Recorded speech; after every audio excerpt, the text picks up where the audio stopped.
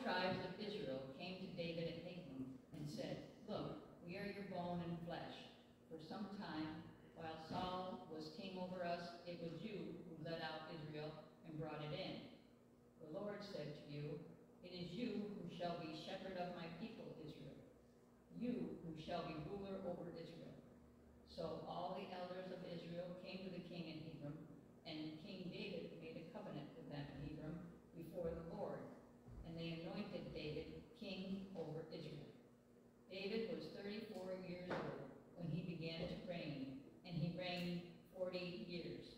Hebron, he reigned over Judah seven years and six months.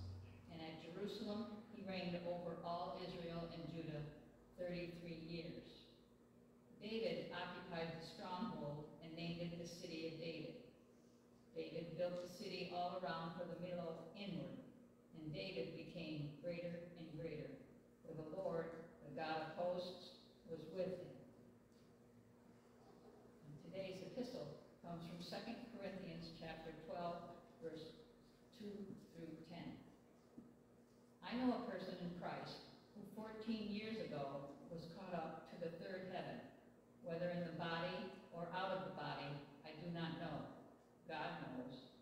And I know that such a person, whether in the body or out of the body, I do not know, God knows, was caught up into paradise and heard things that are not to be told, no mortal is permitted to repeat. On behalf of such a one, I would boast, but on my own behalf, I will not boast, except of my weaknesses.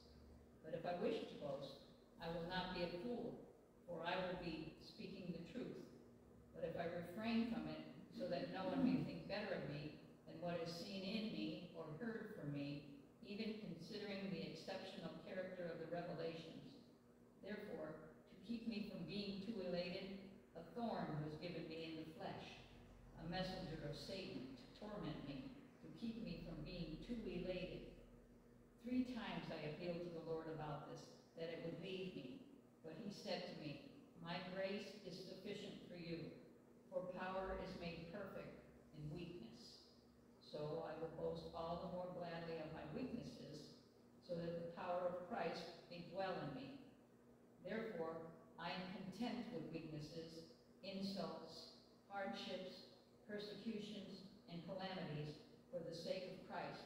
For whenever I am weak, then I am strong.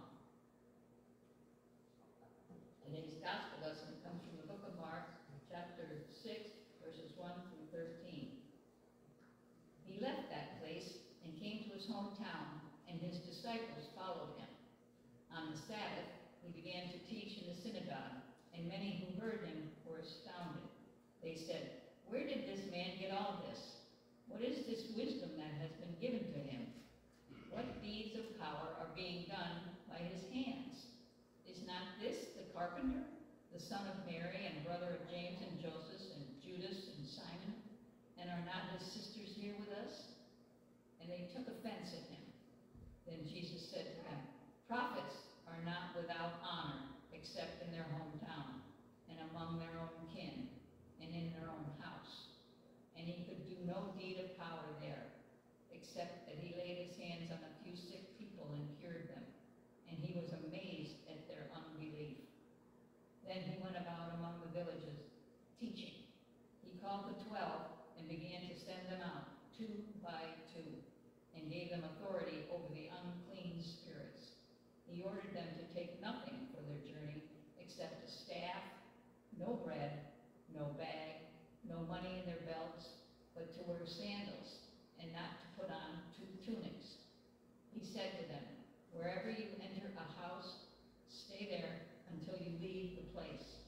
If any place will not welcome you, and they refuse to hear you as you leave, shake off the dust that is on your feet as a testimony against them. So they went out and proclaimed that all should repent.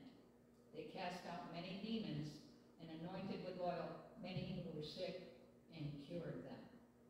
This is the word of God for the people of God. Thanks be to God.